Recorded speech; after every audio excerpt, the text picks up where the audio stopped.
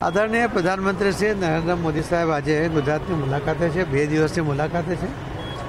આજે એમણે બનાસકાંઠા અને સાબરકાંઠામાં બે જાહેર સભાઓ કરી છે અને ખૂબ સરસ સભાઓ પણ રહી છે.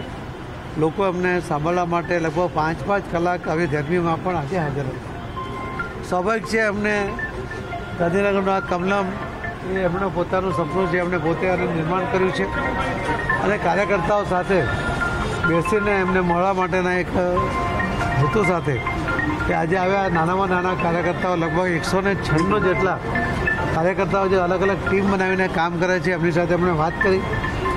એમના સમયમાં કેવી રીતે કામ કરતા હતા, એમાં કેટલાક લોકોને પણ એમણે યાદ કર્યા અને એમણે બધાને માર્ગદર્શન પણ આપ્યું કે કામ કેવી રીતે કરવું જોઈએ.